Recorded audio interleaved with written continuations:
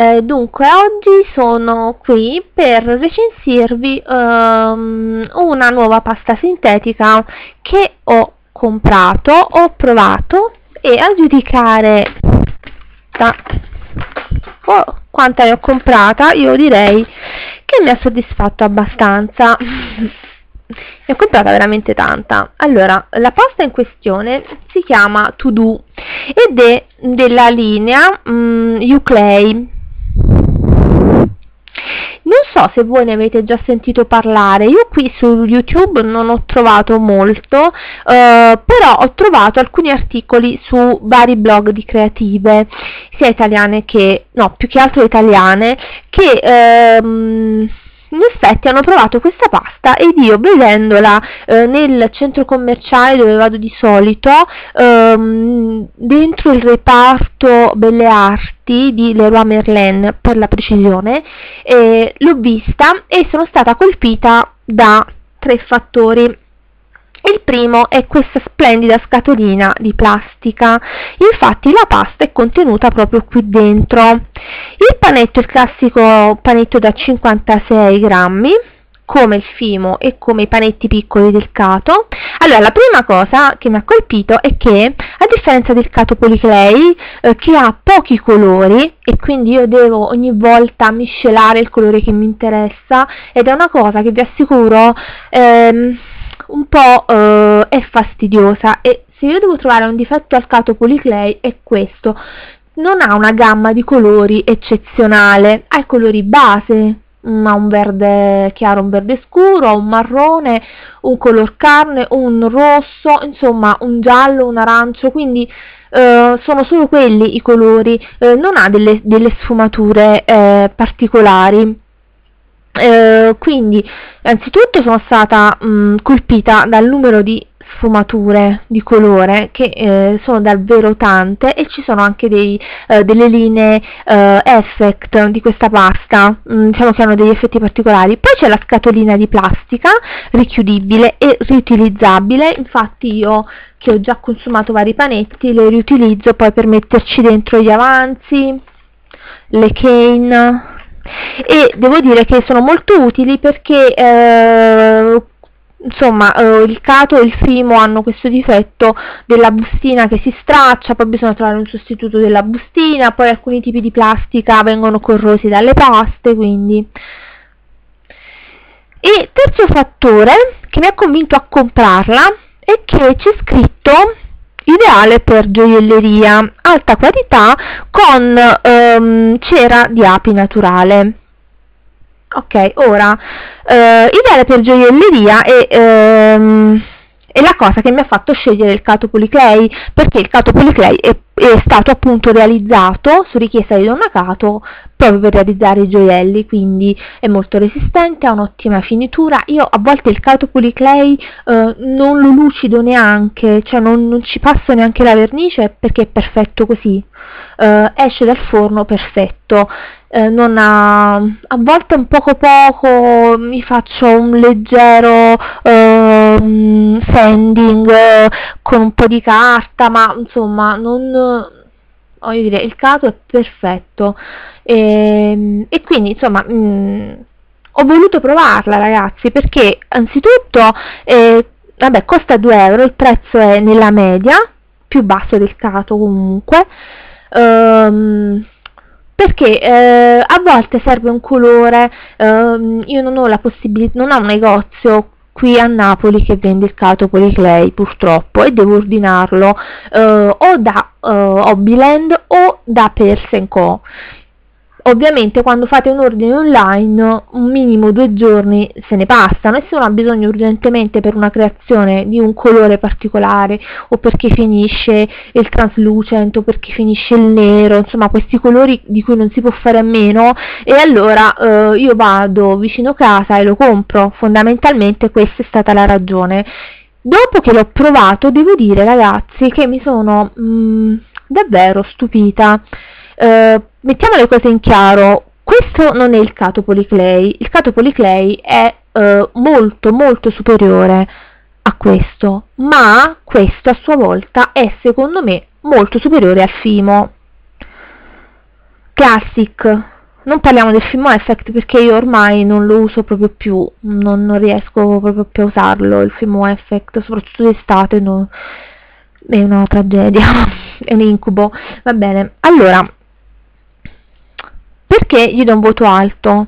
Perché la cosa che eh, mi infastidisce del Fimo eh, è che molto facilmente cambia colore in forno, quindi io ehm, che studio gli accostamenti cromatici perché mi piacciono in determinato modo, ehm, voglio il che il risultato sia quello che ho pianificato e, e non sempre con il Fimo questo mi capita. E la cosa più eh, che mi dà fastidio e eh, soprattutto con il, fimi, con il fimo translucent eh, mi capita che cambi di colore ed è una cosa che non sopporto per niente del fimo. Non tutti i panetti lo fanno, non tutti i colori lo fanno, molto sta anche nella cottura, però devo dire che eh, secondo me il fimo cambia colore, mentre il cato policlei è preciso, perfetto, uh, come, insomma, eh, come da crudo così è da cotto. E questa pasta idem perché questa pasta davvero è uh, molto molto simile da cruda uh, di quanto lo sia da cotta. Allora adesso io vi faccio vedere con un panetto che ho già aperto. Questo è aperto.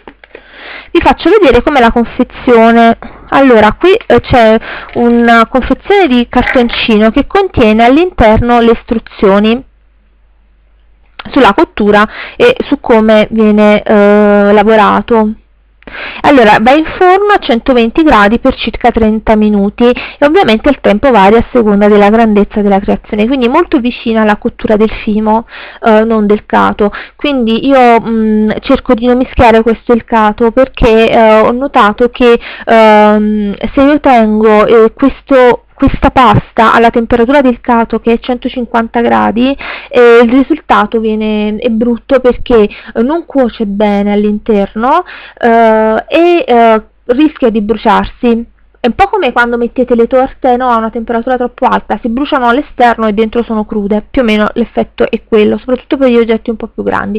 Adesso vi voglio far vedere eh, com'è il risultato, cioè il colore telecamera permettendo, da cotto e da crudo. Adesso vi prendo una perla che ho fatto con questa, questo colore e vi faccio vedere l'effetto. Allora, eccomi tornata, vi faccio vedere ehm, una perla cotta e ehm, la pasta cruda, sperando di riuscire a rendere l'idea. Vabbè, ovviamente questa perla è decorata con... Eh, della, mm, della pasta bianca però voi vedete il colore della perla cotta e della pasta cruda è praticamente identico è identico, non è cambiato di una virgola. E inoltre ha un effetto molto bello perché è eh, marmorizzato. Infatti in questa, eh, di questa pasta esiste eh, sia la, la variante ehm, la pasta normale che ha eh, vediamo se la trovo la pasta normale. Ops.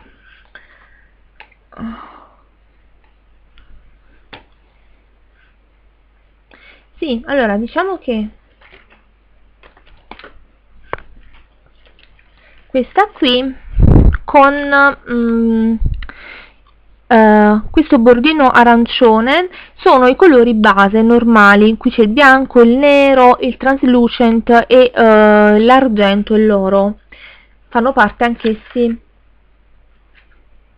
della, della, linea normale. Poi c'è uh, la linea che ha il, questo bordino viola, vedete il bordino, questo arancio e questo viola, e eh, sono i colori eh, marble. Quindi c'è lilac marble c'è un verde ci sono varie sfumature eh, devo dire di colori marble. Anche questo marble prato marble. Oddio scusate prato marble.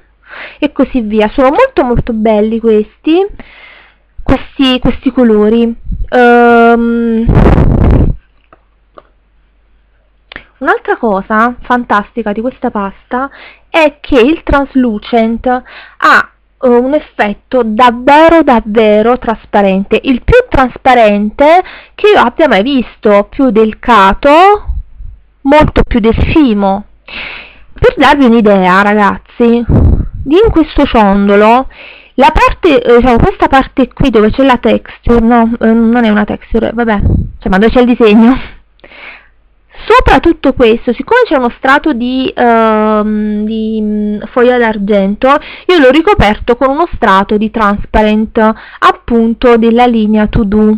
E guardate voi la trasparenza di questa pasta. Cioè lo strato sottostante, il colore blu, eccetera, si vede perfettamente. Certo, lo strato è sottile, però io sfido il cato e il fimo a fare un effetto del genere cioè veramente eccezionale. Io non ho... questo mi ha convinto a, a ricomprarla. Anche qui si può notare, vedete? Questo è tutto trasparente e si vede perfettamente ehm, la, uh, il disegno sottostante, quindi perfetto per qualunque creazione che coinvolga eh, foglia oro, foglia argento, foglia bronzo, eccetera ok quindi è veramente veramente trasparente veramente bello.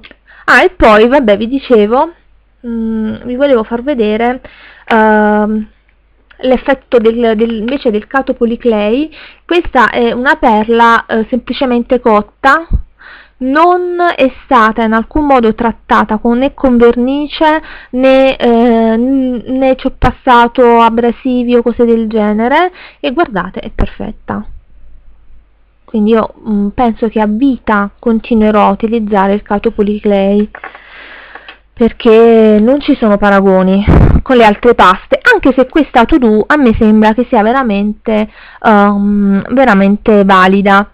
Uh, un lato negativo della pasta to do che uh, tutti quelli che utilizzano il Cato Polyclay uh, notano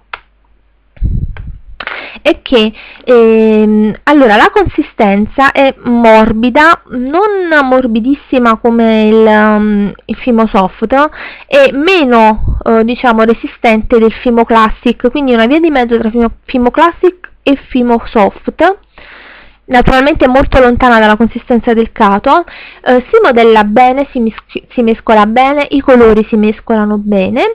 Eh, l'unica cosa che mh, mm, ho notato eh, appunto facendo la differenza con il cato policlei è che eh, essendo più morbida è inevitabile eh, che mh, mm, si, sia più, più, facile che prenda le impronte digitali e che quindi abbia bisogno di un trattamento successivo alla cottura.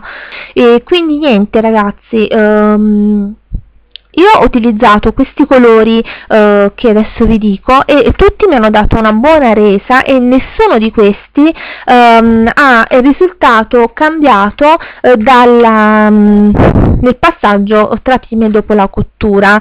Eh, quindi quelli che ho provato io sono um, Dryad Moss che è questo verde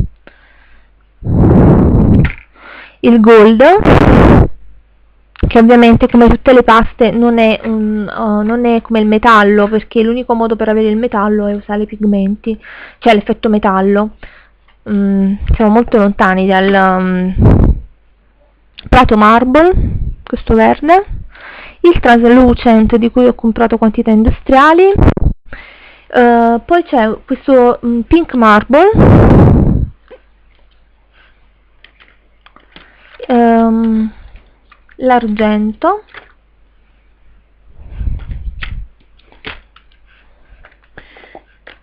Uh, questo mm, che ho quasi terminato è l'Indian Turkish Marble numero 49 eh, poi gli altri vabbè sono tutti doppioni più o meno quelli che ho. Tutti i doppioni. Ah no c'è mm, Tangerine Orange che è stupendo, è un arancio meraviglioso, uh, Cherry Red che è un rosso indiano, molto bello. Ragazzi i colori sono, sono belli belli belli belli.